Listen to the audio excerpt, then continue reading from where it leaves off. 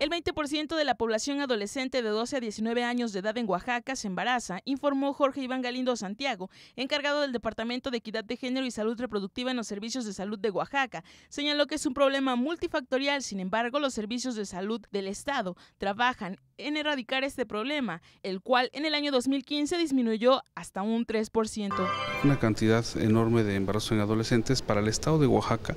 En los servicios de salud de Oaxaca se reporta un 20% de embarazos en adolescentes.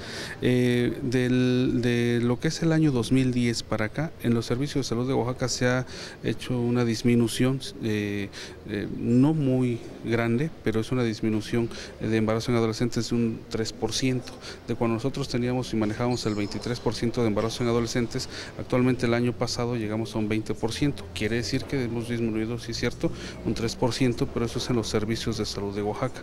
Ese 3% es, un, es grande, ¿por qué? Porque a final de cuentas con eso estamos disminuyendo riesgos durante el transcurso del embarazo, así también riesgos en deserciones escolares y problemas en la salud de la mujer adolescente. Jorge Iván Galindo explicó que se ha reportado que las mujeres que se embarazan antes de los 16 años tienen una probabilidad de morir cuatro veces mayor que quienes lo hacen después de los 20. Las principales causas de enfermedad y muerte son la preeclampsia y la hemorragia posparto. En la etapa gestacional, los bebés presentan restricción en el crecimiento intrauterino. Además, están propensos a ser prematuros y de bajo peso.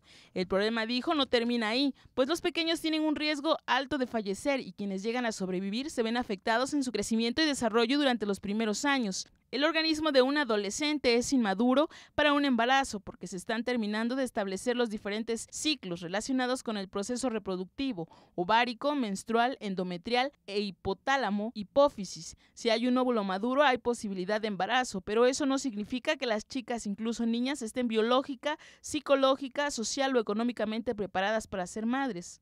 Además dijo, el 15% de las mujeres en esta situación van a buscar un aborto en las condiciones menos favorables para su salud, destacó el especialista. Exhortó a los adolescentes oaxaqueños a informarse y evitar arriesgar sus vidas. Con imágenes de Jacob Cosmes informó para MBM Televisión Karime Cruz.